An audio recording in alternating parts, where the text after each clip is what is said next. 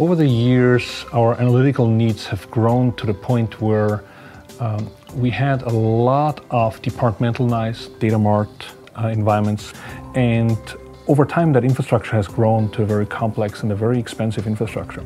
And we started to realize the physical implementation of data marts was way too expensive, way too complicated for the organization to, to deal with it.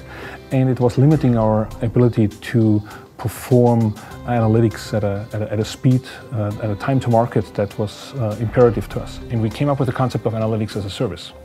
And we basically started to look at our infrastructure as something that we wanted to treat as a utility to all the business units and companies that are part of eBay. And we wanted to provide a service where everybody in the company could bring their own data to our infrastructure, perform their own analysis, combine it with any other data that we already have there, and allow some rapid prototyping in a, in a, in, a, way that was simply not possible before. We got there through our infrastructure that we have with Teradata. We basically took the concept of traditional data marts and we created virtualized, virtualized versions of those. Uh, so no longer did we deploy physical instances of these data marts, but created a, a virtual version that could be created on a moment's notice, that can be shrink, grown, a shrunk, grown, uh, uh, to any size required to perform the anal uh, analysis, and we coupled it with some self-service to make it easy to, to access for uh, the community out there. First of all, it has to deal with scale. You have to be able to scale to virtually any size of system. And scale is a multidimensional problem. It's not only size. Yes, our systems are multi-petabytes in size, but scale also comes in terms of how many concurrent users can you support? How many queries can you execute at any given point in time? Our infrastructures process millions and millions of ad hoc queries every day. And so uh, there are probably seven to eight dimensions of scalability that are very important if you want to take that to the masses. The second thing, uh, and, and that's an even bigger differentiator, I think, for the Teradata platform, is the ability to workload manage.